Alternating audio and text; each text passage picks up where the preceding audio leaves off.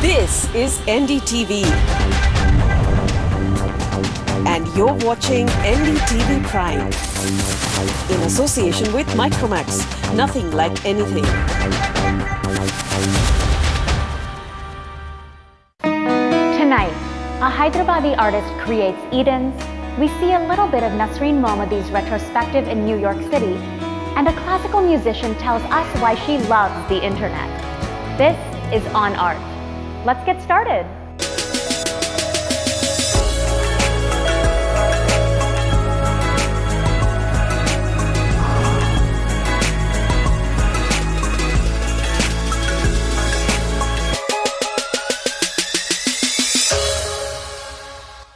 A new museum is opening in New York City, and it's launching with a retrospective of none other than Indian artist Nasreen Mohamedi. Here, we learn a little bit more about the modern master.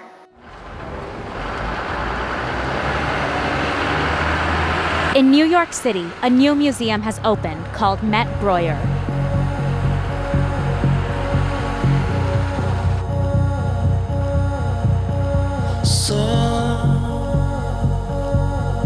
you can change your life.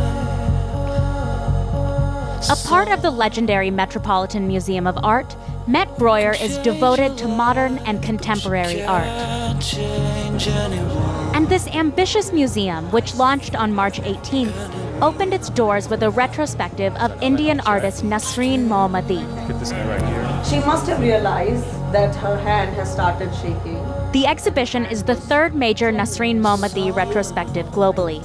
It all began in 2013 at Delhi's Kiran Nadar Museum of Art. I started collecting her work about six years ago, and um, I was very taken up by uh, the kind of work that she did, and I felt very drawn to her work. So we had built a reasonable body of work, and then uh, in 2011-12 we decided that we were going to have a retrospective of Nasreen Mohamedi, that she was an artist who hadn't got her due during her lifetime. So we put together the show, which was part of our collection. In many of her paintings, lines begin somewhere unclear and then continue on until infinity. Her work is purely abstract and extraordinary, particularly given the time period in which she was working the 1960s, 70s, and 80s. The 2013 show was curated by Roobina Karode, who was once a student of Nasreen Mohamedi's. So Nasreen was special to me, and for me, this has been always the case as a curator, working with both proximity and distance. You know. Karode and Nadar joined up with the Metropolitan Museum of Art and the Reina Sofia Museum in Madrid to put on the New York show. At the Met, I think it's very interesting for me now when I sit and talk about it. Uh, what has happened is by showing Nasreen in three different locations, it has really uh, brought in new vantage points and new perspectives to Nasreen's work.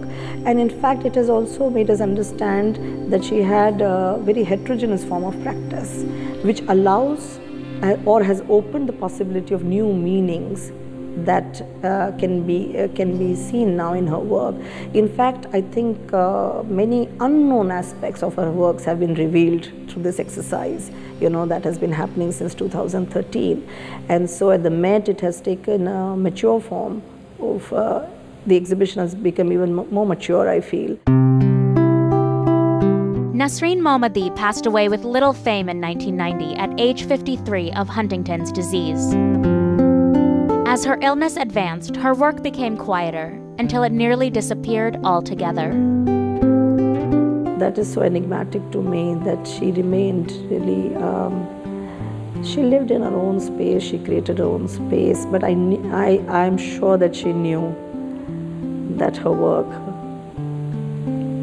would be recognized I'm, I'm sure that she so confidently worked in that direction you know that she uh, uh, she knew that day would come You can see Nasreen Mohamedi's art on display at the Met Breuer in New York City until June 5th. Can't make it to the States? No problem. There's a whole lot of art happening right here in India. Here are your upcoming events. Delhi, go see the art exhibition Moving Landscapes at Triveni Kala Sangam. The exhibition features work from Sunanda Khajuria, who draws from imagery from the terrains of her memory, as well as the real landscape. The opening reception of Else All Will Be Still by artist Ravi Agarwal will be on display at Gallery Espace beginning 7th April at 6.30 p.m. Mumbai, go to the House of Wow in Bandra to see Nirgun Sagun by Beej. It's an evening of bhakti poetry from Kabir and the Varkari Sampradaya interpreted in music and dance. Also in Mumbai is Madame Butterfly by Puccini, the famous opera. See it at the Dance Theatre Godrej.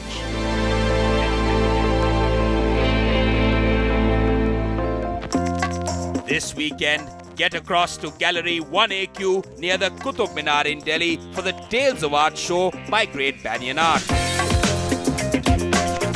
On till the 4th of April, it's a great chance to see work by emerging international artists from countries as varied as the Philippines and Turkey, amongst many more.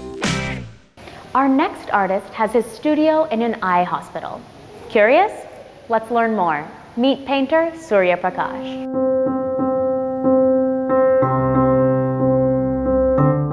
I'm Surya Prakash. I'm a painter, and this is a great passion, also my profession. And I've been into this for the last about 55 years. I'm 76 years old fellow, and it's a long innings, but there's no end to it. Still, still a long, many, many miles to go.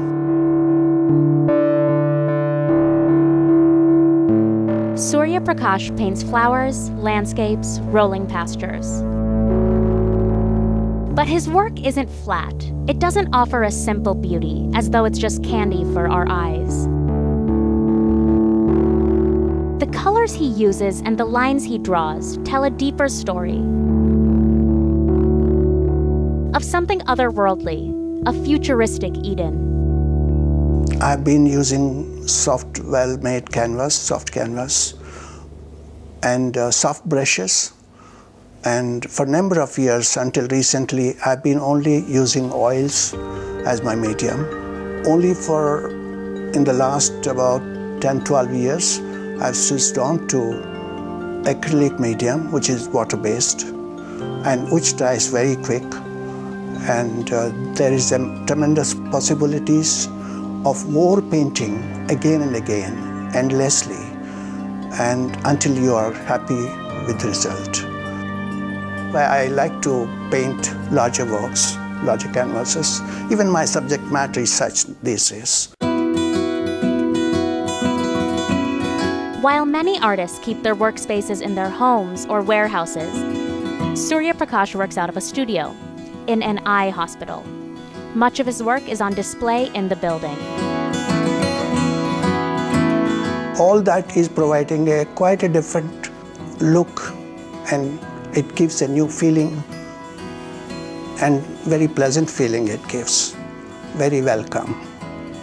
That is the reason I try to introduce art into these areas. And I also sincerely feel art should not be limited only to the museums.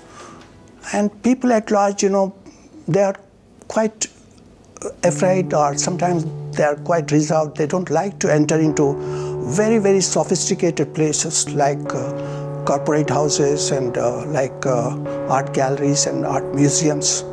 They're a bit afraid.